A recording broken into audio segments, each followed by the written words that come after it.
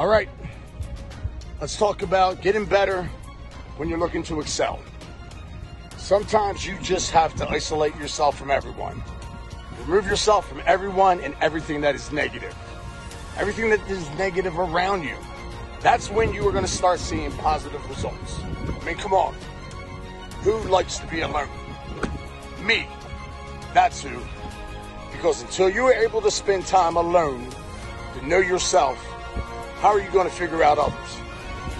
Those people want to pull you down and they don't want to see you succeed or see you happy.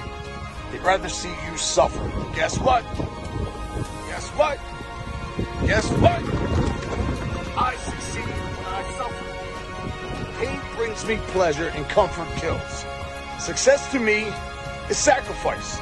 It's not having or possessing, it is about being and becoming. I have to take things away to become the man I need to be. I'm always taking things away.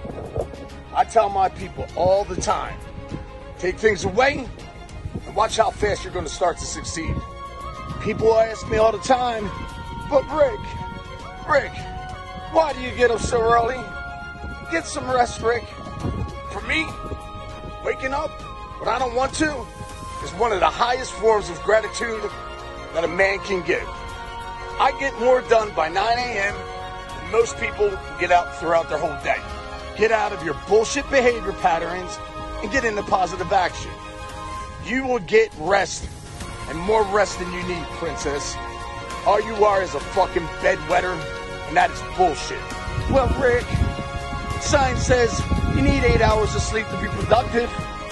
You know what? Science says you're a bitch. Get up early, get your workout in, and get your day started in the right direction. Be positive. My doors open up at 6 a.m. No excuses, no days off, so stop lying to yourself. You know what you need to do, and you need to start doing it now. Strength.